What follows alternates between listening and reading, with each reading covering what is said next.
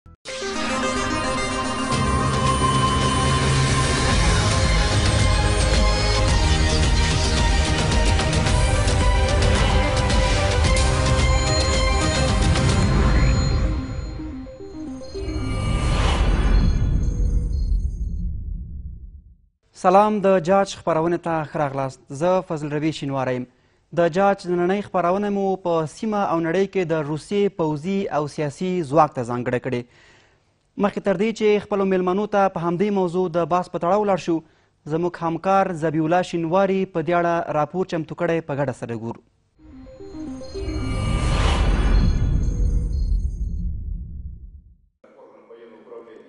د روسیې نظامي پیاوړتیا هوایي ځواک د روسي هوایي پوځ دواړه ډوله خلاصې وزرې او بند وزرې هلیکوپټرې لري چې په ټولو څانګو او په ځانګړي توګه سمندري ځواکونه ترې کار اخلي د روسي هوایي پوځ اوس د نړۍ پرمختللی هوایي پوځ دی چې د جنګي جټ الوتکو او هلیکوپټرو سربېره بېلابېلې ټرانسپورټي الوتکې هم واک کې لري چې له پوځ سره د ماموریت په مهال مرسته کوي. د روسیې هوایي پوځ داسې جنګي جیټ الوتکې هم لري چې په یو وخت څو اهداف په نښه کوي، چې د جګړې په ډګر کې ډېرې موثرې تمامېږي. په ټرانسپورټي او د روزنې الوتکو کې بیا دواړه خلاص وزرې او بند وزرې هلیکوپټرونه لري. روسیه ټول ټال درې زره اوه سوه څلور نوي الوتکې لري، اته سوه شپږ جنګي الوتکې دي، بریدګرې الوتکې یو زر او څلور سوه اته دېرش، ټرانسپورټي الوتکې یو زر او یو سل او څلور ویشت، روزونکې الوتکې درې سوه اووه اتیا، هلیکوپټرې دیارلس سوه نهه اتیا او بریدګرې هلیکوپټرې څلور سوه نوي. د اردو ځواکمنتیا، د روسي اردو د سختې روزنې او ماموریت تر څنګ پرمختللي پوځي تجهیزات هم لري. د ځمکنۍ جګړې لپاره هغه ډول ټانکونه لري چې د جګړې په ډګر کې رول اغیزمن دی او د ټانکونو ویجاړولو پرمختللي وسایل هم لري د روسي پوځي وسایلو جوړېدو د ډیزاین ترمنځ ډیر توپیر نشته د روسي پوځ د ځمکنیو جګړو لپاره هغه ډول پرمختللي پوځي تجهیزات او وسایل لري چې په سیمه او نړۍ کې ساری کم دی د روسي پوځي تجهیزات، شل زره دوه سوه شپاړس د جګړې ټانکونه، د جګړې لپاره پوځي وسایل یو دېرش زره دوه سوه اته نوي، ځان وژونکي توپچي پنځه زره نهه سوه دوه اویا، دوه نفري توپچي څلور زره شپږ سوه پنځه ویشت، د راکټونو طرحه کوونکي ماشینونه، درې زره اوه سوه درې نوي د روسیې سمندري ځواکونه هم د نړۍ په کچه پیاوړی ځواک شمیرل کیږي د روسیې سمندري ځواکونه د پرمختللو جنگي بیړیو سربېره هلیکوپټرې او جنگي جټ الوتکې هم لري چې د اړتیا په مهال هر ځای کې پوځي ماموریت کوي ټول ټال جنگي بیړی 352 د الوتکو ساتونکي یو سمندري بیړی شپږ ویجاړونکي پنځلس، د اوکترونو شمېر درې شپېته، د ګزمو ماشینونه اته ویشت او د ماین پاکۍ وسایل شپږ څلوېښت ډوله. روسیې له تېرو څو کلونو راهیسې پوځي برخې لپاره زیات مالي امکانات هم برابر کړي چې په سیمه او نړۍ کې خپل سیالان پرې ننګولی شي.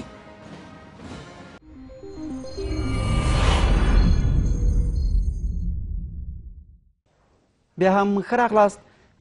د جاج په نننۍ خپرونه کې موږ سره دوه قدرمن میلمانه دي کابل خان تدبیر د سیاسي او او پوځي چارو کارپو او له متحدو ایالاتو څخه د پوهنتون استاد ظریف امینیار له موږ سره میلمه دی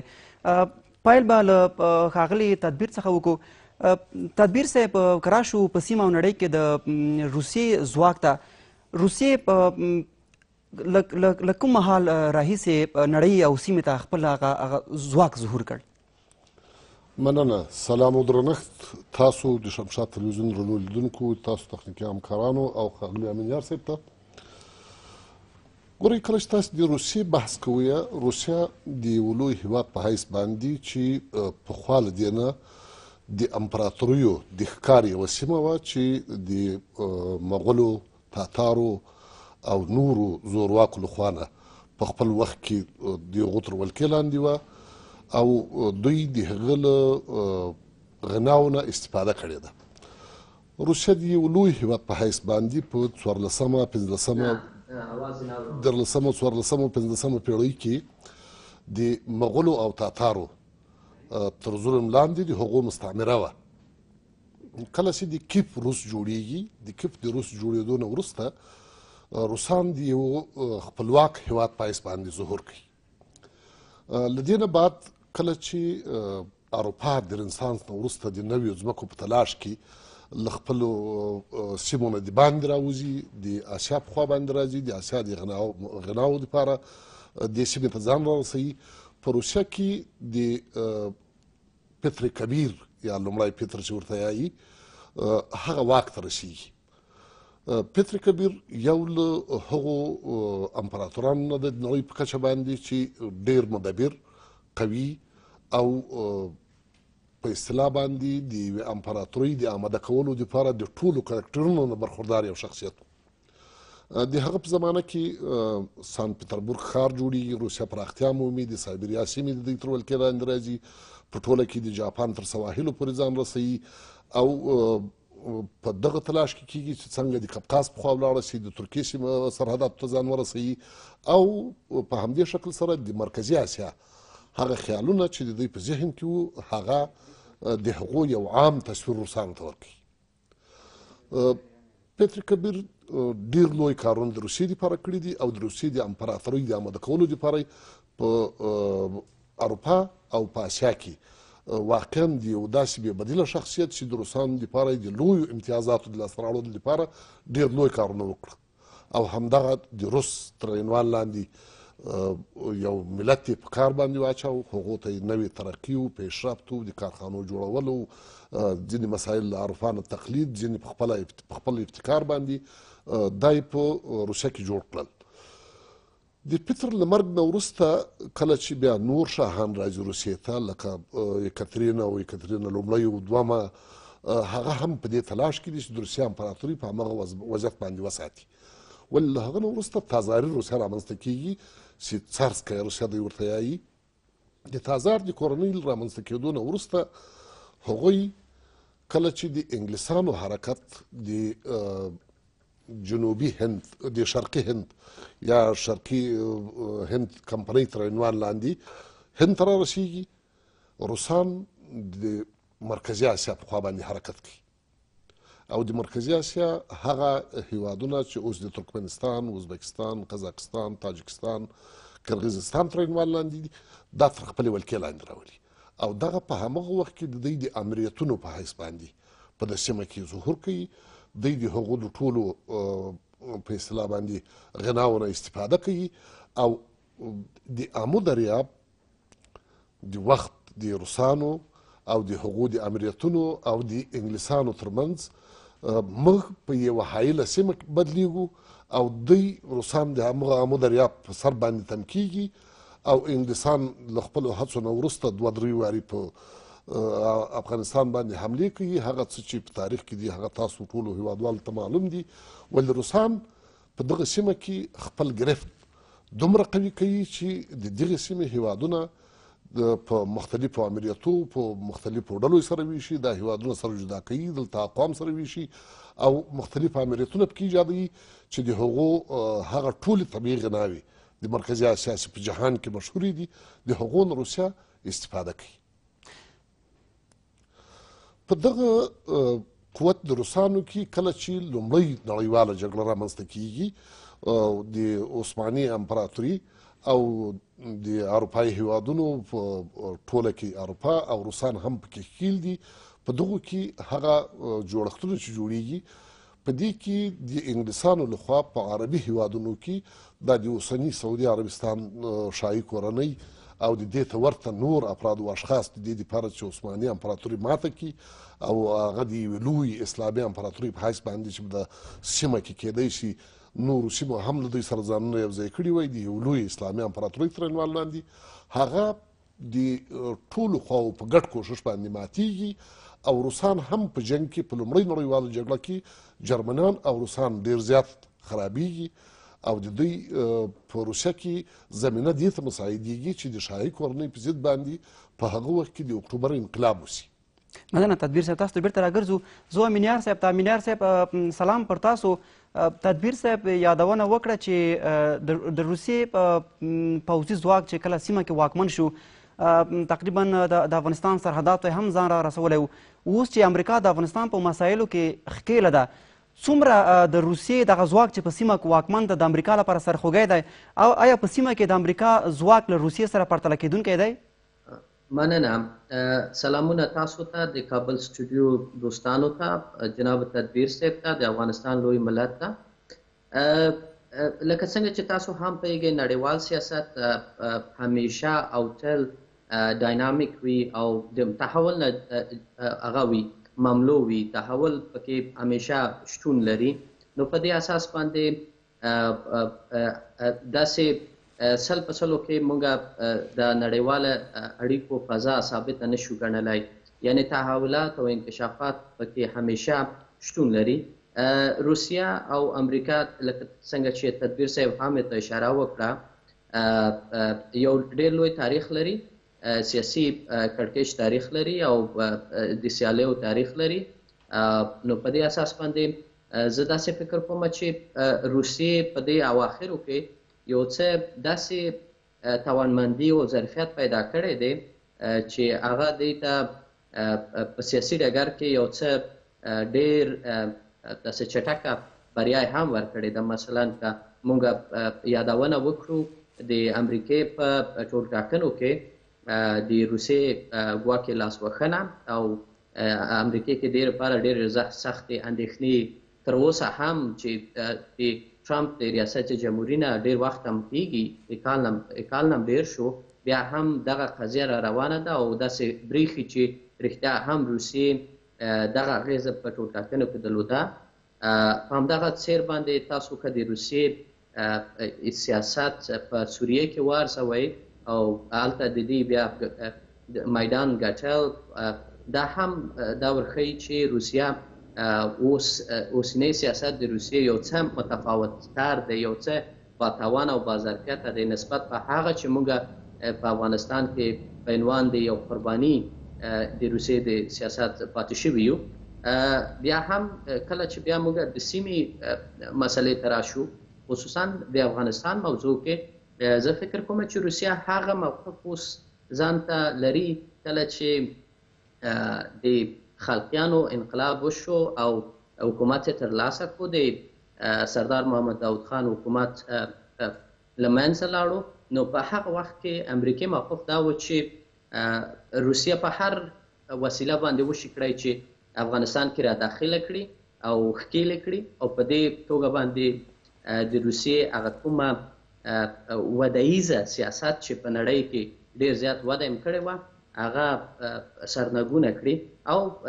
یو طرف نه تشویقي مختلف عوامل یې ورته جوړ کړه چې په افغانستان کې دی دننه شي او ښکېل شي او ېې بل طرف نه بیا مقامتونه ېې ورته جي کړه نو نو اوس په افغانستان کې هم روسیه همدغه یو څیرته یو نقش لري او غواړي چې امریکا دلته ښکیل شي، نور هم ښکیل شي. روسیې دا ارزونه ده چې امریکا په افغانستان کې ناکامه ده او دی کولای شي چې د امریکا د نظام او د امریکا د ابرقدرتي او هژموني جنازه د افغانستان نه وباسي لکه څنګه چې د روس د اتحاد شوروي جنازه د نظام د افغانستانه وتلې وه نو په دې اساس باندې دی همدغه سیاست کوي چې یو طرف نه امریکا سره تشویقوي او دا وایي چې امریکا شتون په سیمه کې ډیر مهم دی امریکا کنه وو په سیمه کې به نور هم بې ثباتي او کړکېچ ډیر شوی وو او نو دې په اساس باندې امریکا باید دلته اوسي دې بل خوا نه بیا دی مخالفین او ترهګر تقویه کوي لکه څنګه او موازي حکومتونه هغه هغه هغه ډلې چې غواړي چې موازي حکومتونه افغانستان کې رامنځته کړي یا مرکزي حکومت ته یو څه ګواښ وکړي هغه هم تقویه کوي. نو په دې اساس باندې دا تاریخ تکرار شوی دی سیاسي تاریخ ولې په ټوله کې زه فکر کوم چې د روسي توانمندي او سیاسي درایت او مدیریت او او اقتصادي توانمندي ته چې مونږ وګورو بیا د ایالاتو متحده امریکا توانمندي ته وګورو او د دې د روسیې مجبوریتونو ته وګورو نړیوالې فرضیو ته وګورو او تیر تاریخ ته وګورو زه فکر کوم چې روسیه به هغه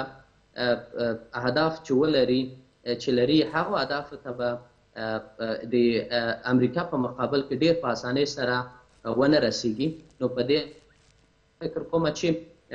کېدای شي چې دغه وضعیت د روسیې او د امریکا کوم کشمکش او رقابت یا سیالۍ چې منځته راشوې راغلې ده دا کېدای شي چې مونږ تاسو بیا یو ځل بیا قرباني کړي اما په ټوله کې زه فکر نه کوم چې روسیه دا توان ولري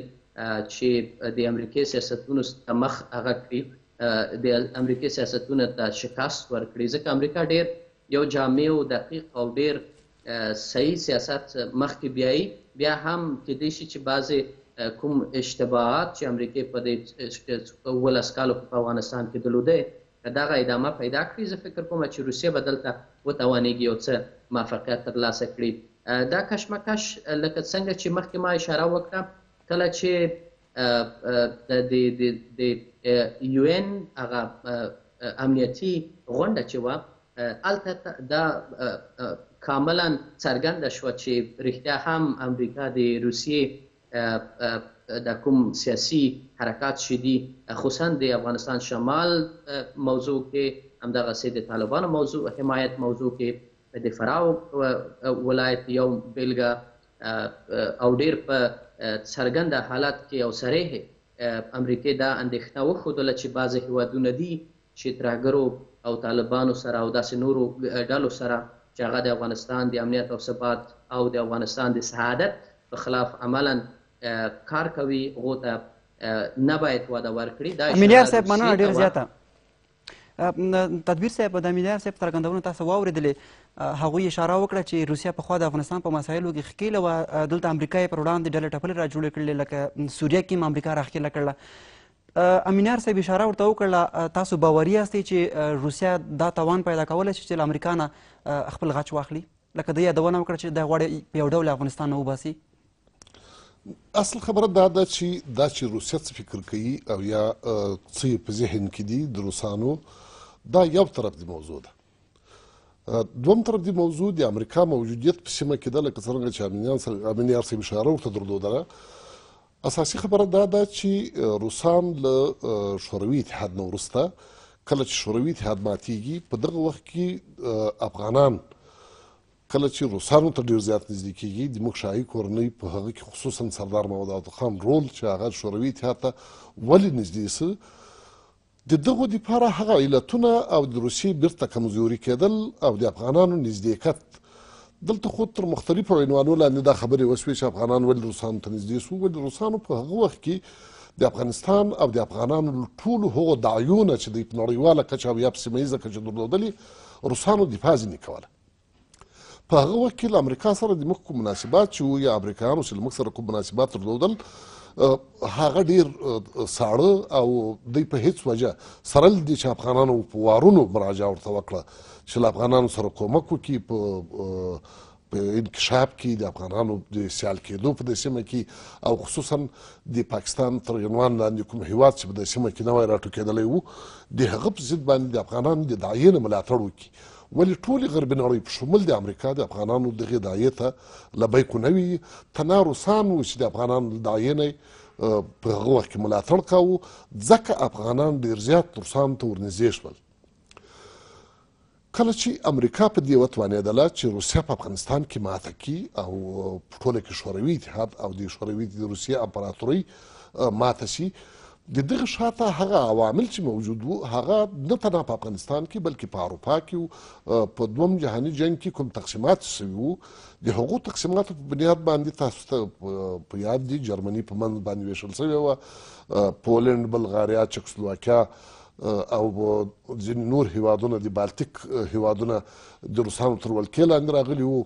او له هغه وروسته روسانو د ستالین د روسانو چې کوم مشر وو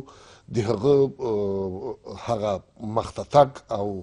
دغه جهان ویرولی وو جهان په نوي تلاش د نویو اسلحو نویو وسایلو کې وو امریکا او غرب په ټوله کې دا تلاش کاوه چې څرنګه وکولی شي د یو لوی قوت په مقابل کې دی د ځان او د جهان لپاره یو دفاعي سیستم ایجاد کی نوي فاکټونه په دنیا کې ایجاد شو چې د وارسا او ناټو په هغو کې تر ټولو مشهور وو دغه دوه فاکټونو ترمنځ یو له بل سره هغه رقابتونه چې درلودل د هغه استخباراتي او د هغه په اصطلاح باندې دفاعي مناسبات د دوی یو د بل په مقابل کې د نویو اسلحو ته لاسرسی او د نویو د نوي تخنیک کارول چې روسان تقریبا موازي له غربي نړۍ سره روان وو ولی کله چې روسان په افغانستان کې ماتیږي او له افغانستانه وروسته بیا د روسانو دولت یا نظام د شوروي اتحاد تر عنوان لاندې هغه امپراتوري نسکوریږي او هغه هیوادونه چې پخوا لکه ترکمنستان آذربایجان او ارمنستان او ګرجستان او قزاقستان او د بالتیک هیوادونه ملداویا او بلاروس او اوکراین دغه سیمې چې کله جدا کیږي د دغو سیمو او په هغو کې د موجود غنا د افغانستان موقعیت دا غربي نړۍ ته کاملا درک وو ښه په روسیه کې یو نوي کالو نه وروسته یا له نه اتیا کال نه وروسته یو دغسې ضعیفه رهبري چې هغو تر ډېره بریده پورې په غربي نړۍ باندې تکیه وکړه او د روسانو ګټې نادیده ونیولې روسان د یو لوی ژوندي ملت په حیث باندې هغه تهدابونه چې هلته پخوا جوړ سوي وو هغه د علومو اکاډمیو ځینې نور تاسیسات هغو روسان بیرته دې ته وهڅول چې نه تاسې باید وړاندې له دې نه چې د امریکا په ملګرتیا باندې فکر وکړئ وړاندې له دې نه چې تاسې د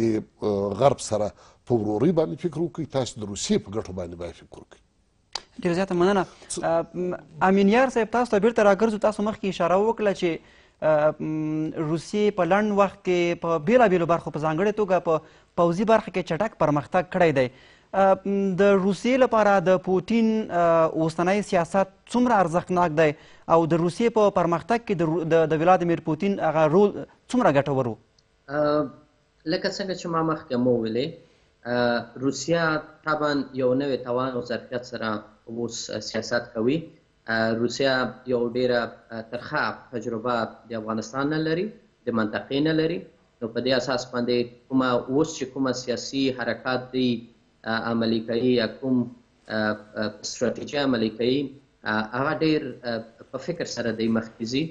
او په دې باندې ښه پوهېږي چې کوم کوم نقاط او کوم کوم مسایل دي چې هغې کې کولی شي چې دی امریکا ته شکست ورکړي، هغه نقاطو باندې ډېر زیات تاکید کوي او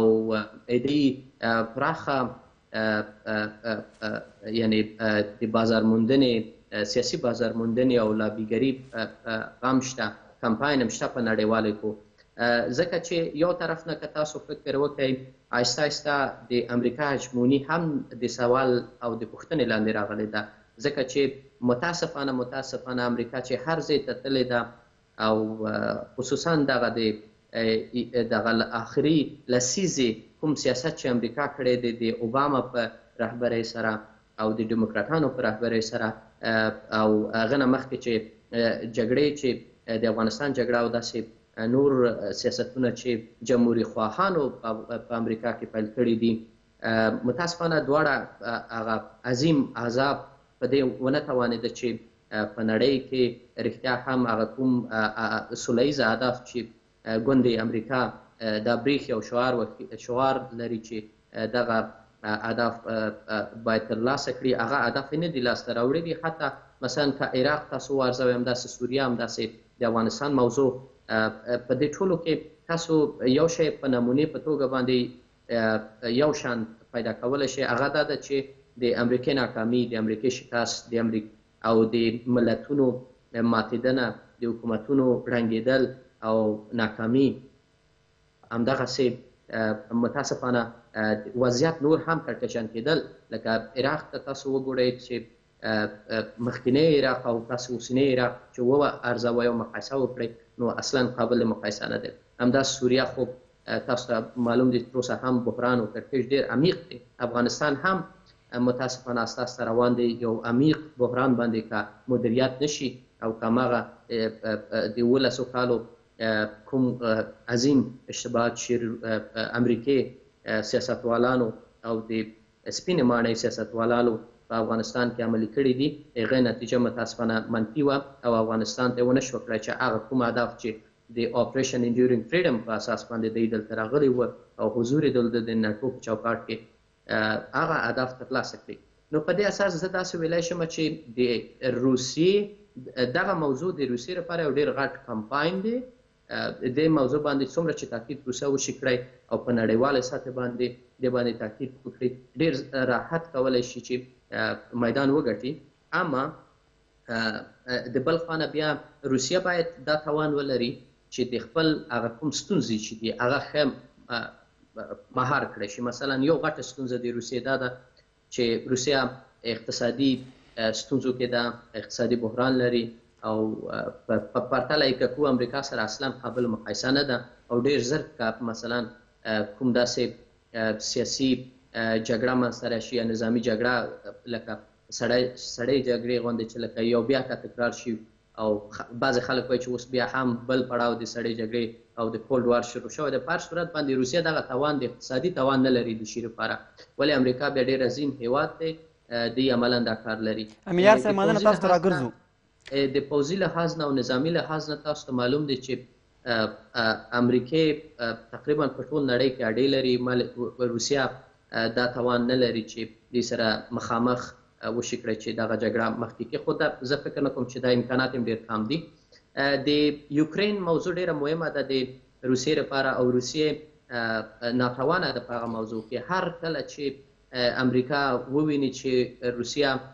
تحرکات لري، هغوی ډېر راحت کولای شي چې د چیچینیا او د یوکرین موضوع منځ ته راوړي او دا ډېره غټه ضربه کولای شي چې روسیې ته واړوي. همدغسې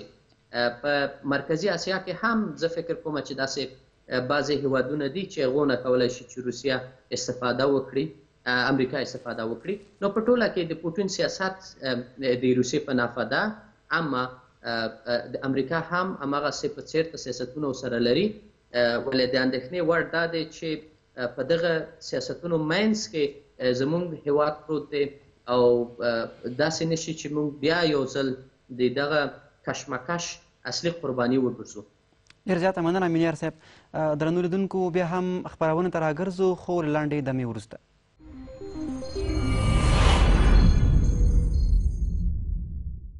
بیا هم د جاج خپرونې ته ښه راغلاست تدویر صاحب امینیار صاحب یادونه وکړه چې روسیه په سیمه او نړۍ کې د امریکا د اقتصادي سیاله نه ده دا خبره تر کوم ځای پورې حقیقت لري ګورئ له دومې نړیوالې جګړې وروسته د روسیې اصلي ځوب په څه کې وو او غربي نړۍ څنګه وتوانېده چې روسیه ته نه په لوی صنعت باندې تمرکز وکړي او دی وړاندې لدې چې خپل واړه واړه ضرورتونه سنجش کړي وی سنجي او یا هغه څوک چې لدی سره دي د هغو ضرورتونه پوره کړي په کومو مواردو کې دی دې ته اړ وو چې دی باید له غربي نړۍ نه مواد راونیسي او یا دی هغه مشکلات چې دی د واړه صنعت لپاره درلود او دی دې موخې نه لکه نن چې چین په جهان کې ده یو لوی په اصطلاح باندې صادراتو دی یو لوی بهیر دا سازمان دی کې روسانو ډیر زیات تمرکز په لوی صنعت باندې وکړ او هغه د دې باعث چې دوی چون صادرات نه درلودل دوی په هغه خام مواد چې درلودل د هغو په فروش او د هغو په ورکولو خپل دوستانو ته په هغه تمرکز وکړ دغه شی د دوم جهاني جنگ نه وروسته بیرته د روسیې اقتصاد د رکود په خوا باندې سازماندهي کړ کله چې له پوتین راځي بیرته نظام ته او واګي په د روسیې واګي په لاس کې اخلي تر ډیره بریده پوري ځینو مسایلو ته دی توجه وکړه ولې ځینې مسایل چې هغه نن هم د روسیې لپاره ډیر حیاتي دي هغه دا دي چې روسان خپل اقتصادي به استناد هغو صادراتونه لکه مثلا روسیه د لوی قوي اقتصاد په حیث باندې په سیمه کې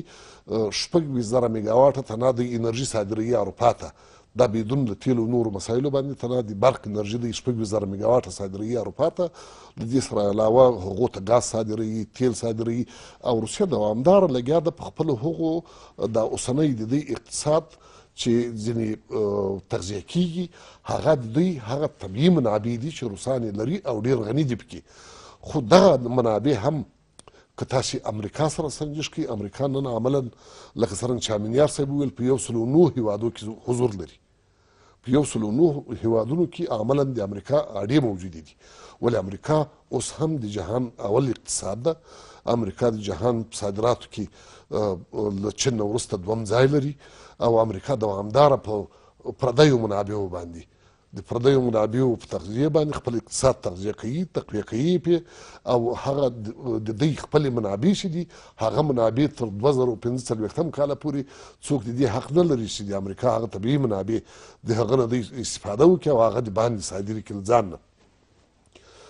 هغه څه چې د امریکا او د روسیې تر واک تر عنوان لاندې او یا د دوی په دې سیمه کې د روسانو حضور روس په نظامي لحاظ باندي په یقین سره چې له امریکې سره هم سیالي کولی شي او هم د امریکې سیال هیواد ده ولې دی نظامی جنگ د پارل د سره په څنګ کې اقتصادي پرمختګ په کار ده هغه څه چې په جنگ کې د لوجستیک تر عنوان لاندې منځته راځي چې دا ته خپل دوستان خپل انډیوالان او خپل هغه څوک چې تا سره دي هغه په اقتصادي لحاظ باندې اکمال کړی شي په لوجستیکي لحاظ باندې اکمال کړی شي د هغو اکمال یو ډیر لوی اړتیاونه ده چې باید وي کې چې روسان تر اوسه پورې لا دغې خبرې ته ډېر زیات توجه نه کوي اوس حساسیت د موضوع دا چې نن په افغانستان کې ولې دغسې حال ده هغه عمال چې دوی په افغانستان کې لري او یا یې له پخوا نه درلودل د هغه څرنګه تقویه کوي څرنګه د هغو نه استفاده کوي امریکایان څرنګه راورسېدل ګوري اوکراین د روسیې دپاره اوکراین د روسیې دروازه ده او هلته د روسانو دپاره د بل هر چا زغمل دوی له پخوا نه هم روسان او اوکراینیان ډیر خوږ تاریخ یو له بل سره نه لري بلکې دوامدار په ټولو په سیمه ییزو معاضلو کې دوی یو له بل سره په معاضله کې پاتې شوي دي او په جنګونو کې دوی یو له بل کله چې روسیه بیا اوکراین بیا په له دومې جهاني جګړې وروسته د روسانو لخوا نیول کیږي او هغه په ځان پورې مرتبط کیږي د هغو د غناو نه استفاده کیږي او هلته د روسیه تر واک لاندې یو حکومت ایجادیږي د شوروي اتحاد تر عنوان لاندې یو امپراتوري چې روسان ایجادوي په هغه کې هم اوکراینیان د نورې اروپا د خلکو په شان باندې د روسانو په مقابل کې استادګي کوله ولې هغه څه چې په مرکزي اسیا پورې مربوط دي د مرکزي اسیا په غناو پورې مربوط دي په مرکزي اسیا کي یو لوی داسي ذهنیت موجود ده اوس چي دا خلک نوي ازاد سوي دی باید ترقي وکړي دی باید له جهان سره سیالي وکړي هلته نه د امریکا حضور او نه د روسیې ډیر لوی حضور ته څوک د دې په اصلاح باندې خوښي لري چې دوی راسي او هغلته حضور پیدا کړي روسان عملا حضور لري او دا سیمه خپله د حاکمیت سیمه بولي قفقاز روسان خپله د حاکمیت سیمه بولي چې هلته جارجیا او امریکا له روسانو سره په مخالفت کې ده د جارجیا یوه سیمه تاسې ولیدل چې روسانو ځینې را جدا کړه د اوکراین نه یوه سیمه جدا کړه روسان ډېر کله چې د روسانو سوریې ته جمپ کړو یو له علتونو نه دا و چې امریکا عملا په اوکراین او په جارجیا کې یا غربي نړۍ په ټوله کې په همدغو سیمو کې شروع وکړه له یوې خوا قفقاز د روسیې لپاره حیاتي ارزښت لري له بلې خوا اروپا ته د اروپا کاریډور چې د یوکراین له خوا نه تېرېږي د روسانو دغه کاریډور چې اروپا خوا ته باید لاړ شي هغه ورته حیاتي ده له بلې خوا دغه سیمه چې د مرکزي اسیا او دلته کومې موجودې غناوې چې دي مثلا زه که تاسو ته یو مثال ووایم ترکمنستان نه په هغه وخت کې چې شوروي اتحاد وو د اخري محاسبو په بنیاد باندې ترکمنستان ته د کال روسانو 2.5 میلیارډ ډالر د معاشونو او نورو ضرورتونو لپاره ورکول ولی د هغه په مقابل کې د کال تر 50 میلیارډ زیات پیسې له ترکمنستان ته راوړي په همدغه شکل سره هغه غناوي اوس ترکمنستان په دغه سیمه کې یا په نړۍ کې د ګاز یو له هغو هیوادونو نه ده چې جهان کې تر ټولو زیات ګاز لري تدبیر صاحب تاسو ته بیرته راګرځو امینیار صاحب روسیا تدبیر صاحب ورته اشاره وکړه په اقتصادي برخه کې تاسو اشاره وکړه چې د امریکا سره سیالي نشي کولای خو تدبیر صاحب بیا برعکس وایي چې روسیا واقعا د امریکا پوځي سیاله ده د پوځي سیالی کېدلی شي او اوکراین دا د روسیې لپاره څومره ارزښت لري خب طبعا نظریات مختلف دي تدبیر سه یو بل اړخ راړو د قضیه وڅېړو او د هغې اړخ نه که تاسو وګورئ طبعا امریکا خو طبعا اسې پذیره ده دا خو مطلقا نشو ویلی چې امریکا سل په سلو کې برنده ده په دې موضوع کې یعنې دا خو نړیوال سیاست خو د منافعو جنګ دی نو که تاسو ښه بازي وکړه او ښه نتایج به منځته راځي، ښه رهبري هم وکړه ښه نتایج منځته راځي او که بازي ښه ونه شوه طبعا بازیګران ضعیف وو او رهبري ضعیفه وه نتایج به هم صحیح نه وي. یوازینۍ زه فکر کوم یوازینۍ اندېښنه او یوازینې غټه اسیب پذیري د امریکا دا ده چې امریکا بدبختانه ونه توانیدو هغه کوم سالم رول یا نقش چې په عنوان د یو ابر قدرت د نړۍ ولري د ټولې نړۍ د ثبات د آرامتیا او امنیت په موضوع کې هغه سیاست په نړۍ کې ډېر مهم دی لکه ډېرې سروې ګانې که تاسو وګورئ او ډېر ګزارشونه دې مورد کې شته دي چې آهسته آهسته د امریکې خلاف ذهنیت د امریکې برخلاف ذهنیت په نړۍ کې وده کوي او دا داسې داسې یو آنن اتفاق نه ده دا اتفاق چې ده دې شاته ډېر مسایل دي مثلا د امریکې ناکامي، د امریکې شکست، د امریکې دوه مخی سیاست، ډبل سټنډرد نړیواله پالیسي، همدغسې د ناتواني په ورلډ لیډرشپ کې یا د نړیوال رهبري کې ځکه امریکا خو دا ادعا کوي او دا د نړۍ رهبري کوي نو په دې اساس باندې مثلا د امریکې نقش په هغه کې په یو این کې ملل متحد کې همداغسې په نورو سازمانونو کې نو دا ټول که تاسو و ارزوئ دا به ښکاره کېږي چې دا یوه اسیب پذیري د امریکې دا ده نو که امریکا ونه توانېده همدغسې چې سوریه کې ونه توانېدو که امریکا کې افغانستان کې هم ونه توانېږي چې هغه کوم اهداف چې دي هغه لاسته راوړي او نړۍ ته دا قناعت ورکړي چې امریکا هیوادونه جوړوي ړنګوي نه نظامونه ړنګوي نه امریکا کولای شي چې هیوادونه جوړ کړي او ښه حکومتونه مقتدره سلامت حکومتونه او اقتصادي پراختیا او دیموکراسي هیوادونو ته صادره کړي او دا نتیجه ورکوي نو که دا شی وشو کړی زه فکر کوم چې د امریکې نقش به ثابت شي امریکې رهبري به هم ثابت شي او دا به پاتې شي لکه څنګه چې تاسو هم پوهیږئ ټرامپ یو کاملا همدغه موضوع باریکی ته د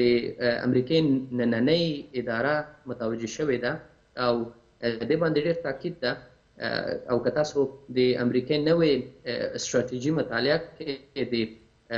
د افغانستان او جنوبي اسیا په مورد باندې تاسو به دا وښکاري چې امریکا په دې باندې پوه شوې ده چې اوس باید یو رغنده او ډیر مثبت او د د کلونو کلونو هغه کومه اشتباهات دی چی وه هغه د اشتباهات امینیار صاحب ته بیرته راګرځو تدبیر صاحب امینیار صاحب د امریکا نوې ستراتیژۍ ته اشاره وکړله په سیمه کې د امریکا د نوې ستراتیژۍ کې کوم کوم ټکي کوم اهداف دي چې روسیه د خپل ځان لپاره ګواښ بولي ګورئ د امریکا په نوې ستراتیژۍ کې هغه سرعت عمل چې امریکا دا اوس امین یار صاحب هم اشاره ورته درلوده امریکایان خپل اسیب پذیری شمارل ځان سره ثبتوي او هغه مشکلات چې دوی لري هغه دوی ته اوس د دوی په کانګریس کې او د دوی په دولت کې په دولتي سیاستونو کې تر ډیره بریده پورې محسوس دي لکه څرنګه چې ما مخکې وویل امریکا په یو سلو نور هیوادو کې د جهان حضور لري د دغه حضور تامینول او هلته د ملتونو سره د خلکو سره او په هغو سیمو کې چې دوی حضور لري د هغو خلکو سره همغږی تګ دا د دې باعث کیږي چې امریکا ته تر یو حده پورې یو قوت وروبخي که دوی د ملتونو په خلاف په همدغه شکل سره د زورګویو یا د نورو فشارونو د اچولو تر عنوان لاندې ټول هغه څه چې دوی غواړي هغه په ملتونو باندې وتپي یقینا د دغه په مقابل کې به خیزشونه کیږي خلک به راپورته کیږي او دغه خیزشونه بیا د امریکا په توان کې نه وي چې دوی په ټوله نړۍ کې وځپي معمولا په جهان کې د امپراتوریو مختلف شعارونه کله چې انګلیسانو شعار درلود له هغه وروسته بیا روسانو د سوسیالیزم تر عنوان شعار درلود نن امریکا د دیکتاتورۍ په ضد باندې د دیموکراسۍ تر عنوان لاندې شعار لري ولی ارزیابي هم په جهان کې موجوده ده او هم په سیمه کې موجوده ده هغه ارزیابۍ چې بیا د هغه په مقابل کې خلک راپورته کیږي تاسو ګورئ د سوریې اوسنی وضعیت د سوریې اوسنی وضعیت که تاسو وګورئ ولې سوریایان د امریکایانو په مقابل کې ودرېده او د اسد د رژیم نه دفاع وکړه حال دا چې دوی راپورته سو د یو دیکتاتور په ضد راپورته سوي وو ولې دغه خوځښت کمزوری سو علت یې دا ده چې سوریایانو ولیدل چې له عراق سره څه وسو عراق پرون څه و هغه ارزیابي کېږي او نن څه ده لیبیا پرون څه وه او نن څه ده او همدغسې نور هېوادونه په سیمه کې دغه ارزیابۍ او د هغه په مقابل کې استادګۍ دي نور جهان هغه څوک چې د امریکا او د غل امپراتورۍ سره په مخالفت کې دي لکه روسانو چینایانو یا د سیمې نور هیوادونه دلته دغه مشکلات ارزیابي کیږي او دغه د یوې پروپاګنډې یا تبلیغ په حیث باندې د هغه نه ګټه اخیستل کیږي ګورئ افغانان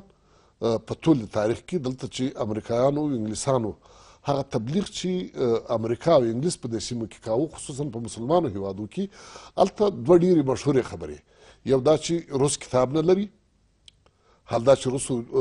امریکا د یو مذهب پیروان دي او انګلیس هم د همغه مذهب پیرو ده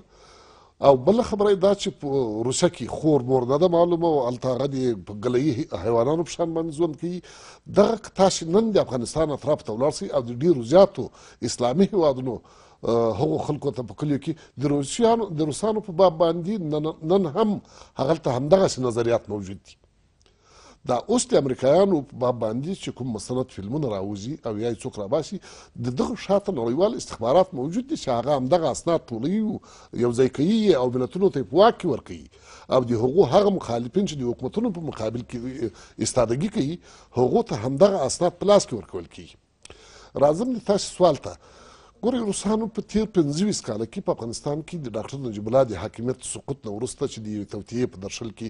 د ملګرو ملتونو په پروګرام باندې کودتا وسوه او روسانو په هغه کې لوی لاس درلود چې د افغانستان آرامش او افغانستان کې همغه په اصلاح باندې قوت ناکام کړي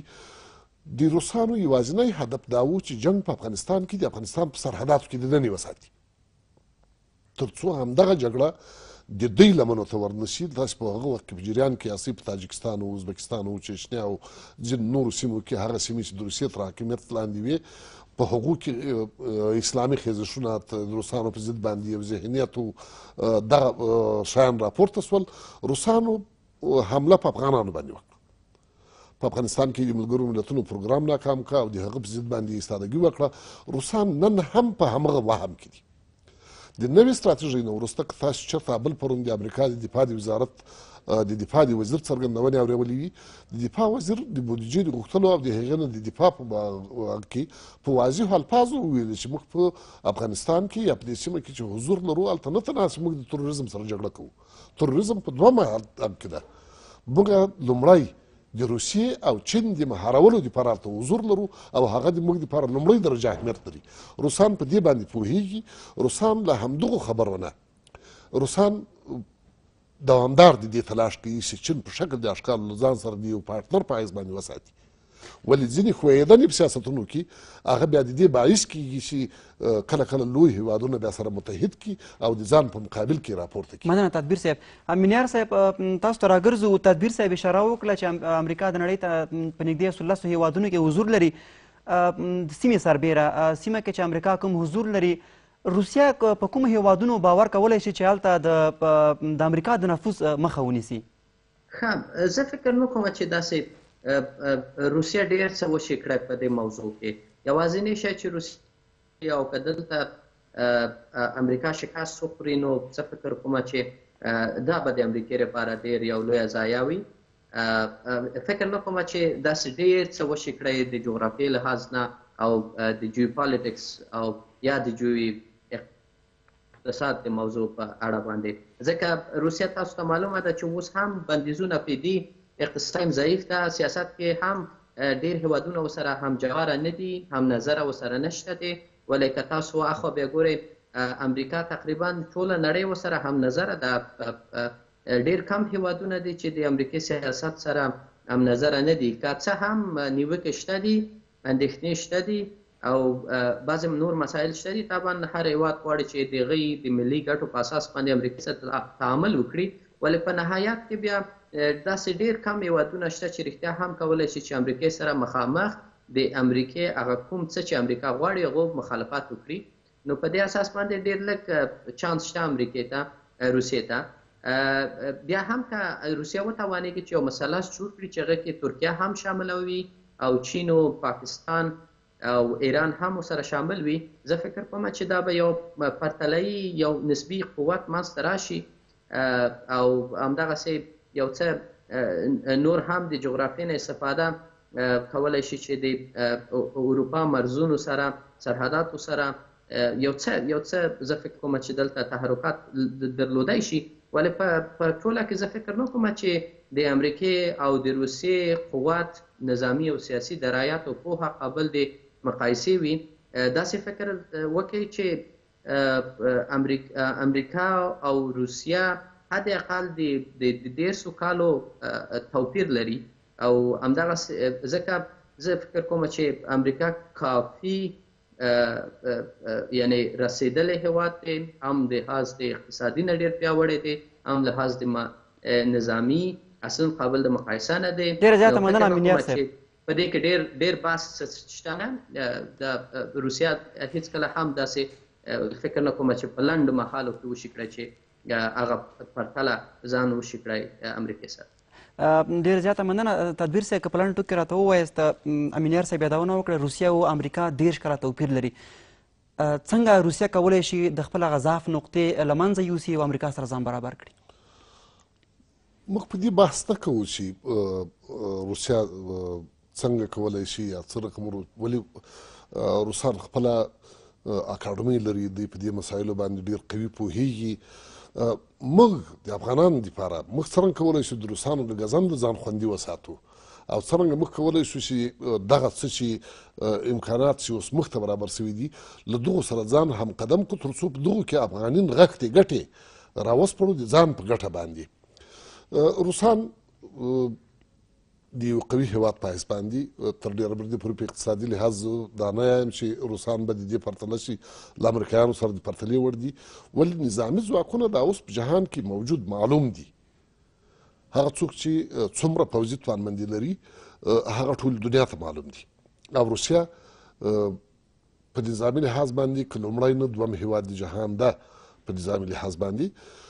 په اقتصادي لحاظ د روسانو کمزوري کول او د نړیوالو رسیدل هغو سیمو ته کومې چې د دوی لپاره د ارزښت وړ دي، کومې چې د اوسني جهان په اصطلاح باندې په تجارتي بازارونو ته شاملې شي او هغه په شکل د اشکالو له اوسنیو واکونو نه د باندې راووځي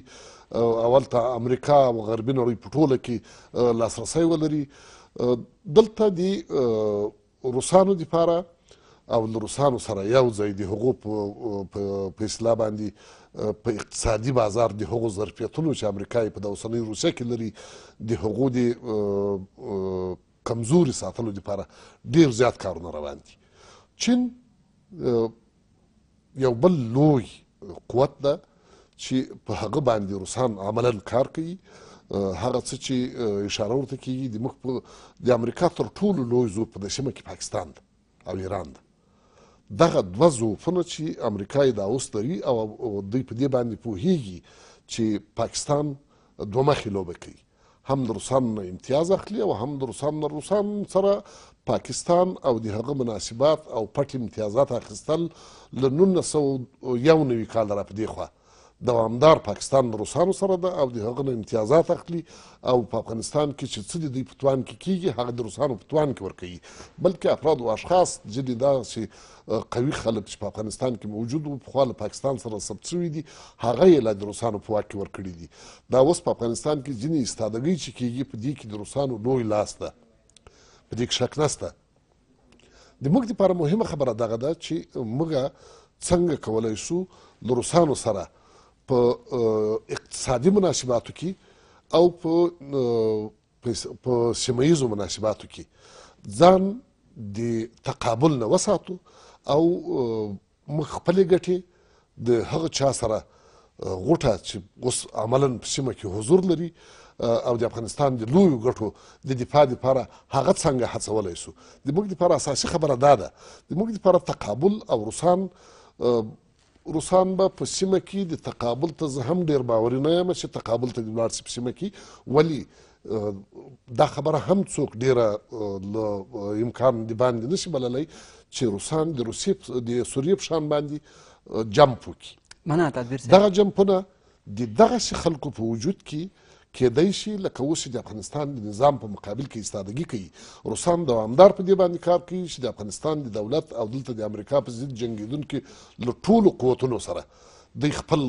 قوت هماهنګ کړي او په هغو باندې سرمایه ګزاري کوي عملا کومکونه ورسره کوي په افغانستان کې موږ وینو چې د روسیې اسلحې حتی جدید التاریخ اسلحې نیول شوې دي دا اوس پیدا شوې دي د هغه په باندې اسناد موجود دي هغه څه چې څو ورځې مخکې د ملګرو ملتونو په سازمان کې وړاندې شو دا ټول شیان موجود دي د موږ لپاره مهمه دا ده چې موږ له تقابله د باندې ووځو او په هغو قوتونو باندې چې روسان سرمایه ګزاري پرې کوي تر ټولو زیاته هغه څوک چې په نظام کې دننه دي هغو ته خپله توجه راواړوم تر څو هغه د روسانو د ګروګانه راوباسم کور مو ودان درنو لیدونکو د جاج د دې اونۍ خپرونه مو په سیمه او نړۍ کې د روسي اقتصادي او سیاسي ځواک ته ځانګړې کړې وه چې دلته د کابل په سټډیو کې کابل خان تدبیر خپل نظرات شریک کړل او له متحدو ایالاتو څخه د پوهنتون استاد ظریف امینیار هم د خپرونې په تړاو خپل څرګندونې درلودې د جاج نړنۍ خپرونه په همدې ځای پای ته رسیږي تر بیا مو الله امان